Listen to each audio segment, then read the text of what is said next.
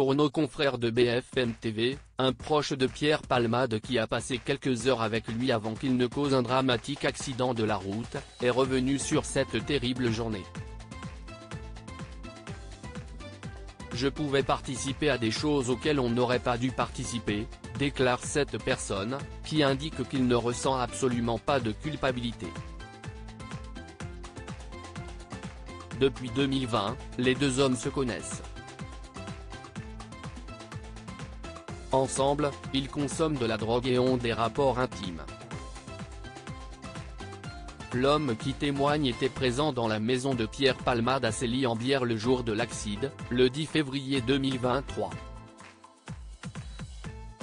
De façon totalement anonyme, il raconte les heures qui ont précédé le drame et revient aussi sur les accusations de pédopornographie qui visent le comédien.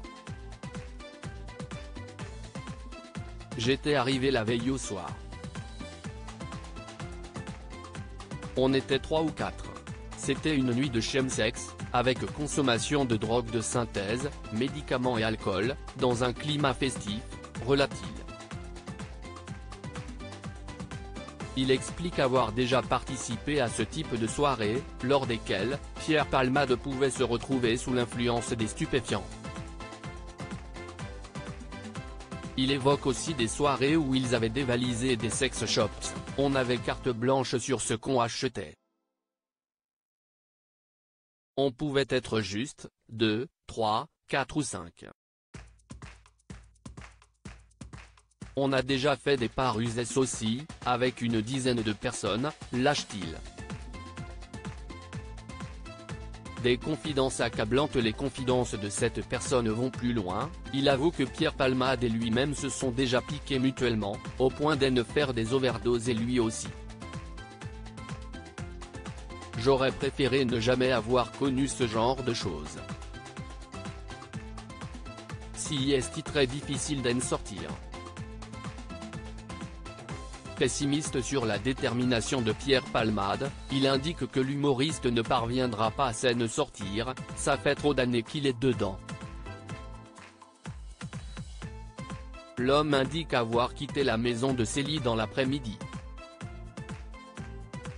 À la fin, j'ai senti que j'étais de trop, je suis parti. Il allait faire venir d'autres personnes et en faire partir d'autres. Pierre Palmade aurait même été désagréable et agressif. Sous l'emprise de la drogue, il devient facilement susceptible, moins gentil. Au début on se disputait, et maintenant je prenais l'initiative de partir. Il avoue aussi qu'avec l'humoriste, il avait déjà fait une balade en voiture. Pierre Palmade conduisait et on était tout défoncé.